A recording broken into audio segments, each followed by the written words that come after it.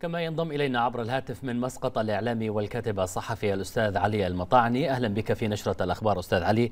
يعني وسائل الإعلام في الكويت تحديدا وفي دول مجلس التعاون أيضا ووسائل التواصل الاجتماعي لا تستطيع أن تخفي حزنها على رحيل الأمير الشيخ نواف.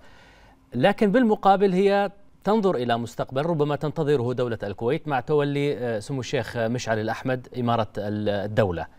ما هو المستقبل الذي ترنو له الكويت وكيف تنظر أنت إلى ذلك؟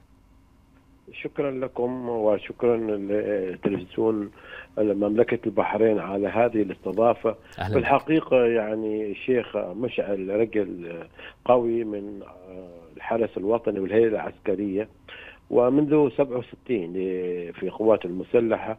وطبعا الأمير مطلع على الحال أو الأحوال الوطنية في دولة الكويت والمنطقة بحكم عمله بحكم أنه من بيت العائلة في الكويت يعني. نعم.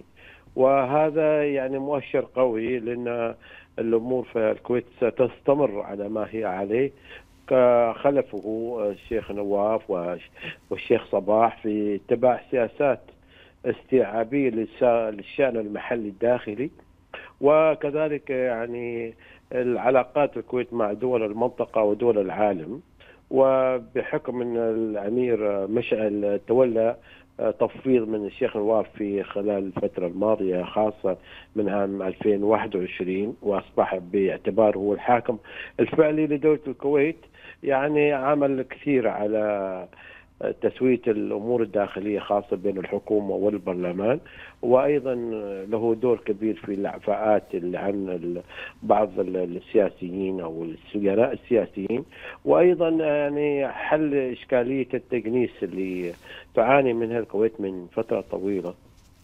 فالأمير مشعل بحقيقة هو أيضا يعني شقيق لثلاثة حكام وطبعا بحكم جواره بالأمراء السابقين وبحكم إنه من بيت العائلة الكويت فالعملية مستقبل الكويت إن شاء الله يعني ماضية على ما هي عليه سابقا.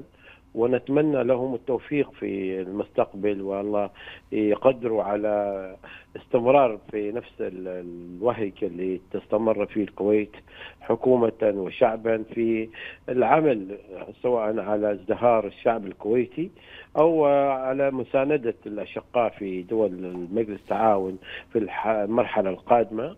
وأيضا في البيت العربي في ترميم العلاقات العربية بما يصلح الحال يعني إن شاء الله. إن شاء الله نعم شكرا جزيلا لك من مسقط الإعلامي والكاتب الصحفي الأستاذ علي المطعني.